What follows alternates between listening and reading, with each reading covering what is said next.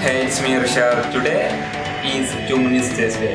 This day I am sharing some Lightroom preset for your next Instagram photos. So, let's go jump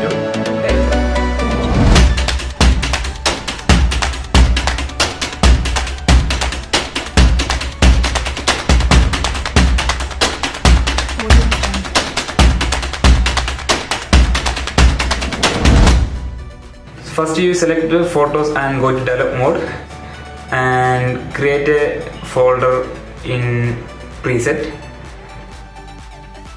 And right button on created folder and just import downloaded preset.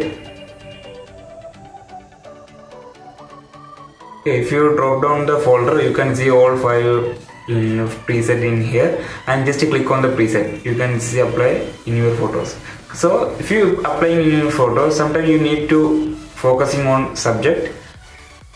So go to radial filter and create a radial. But you need to invert the mask and increase the feather and adjust the uh, exposure highlights anything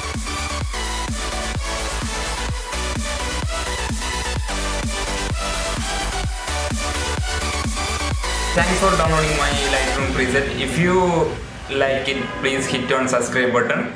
And if you use in your next insta photos just tag to me. So see you next monday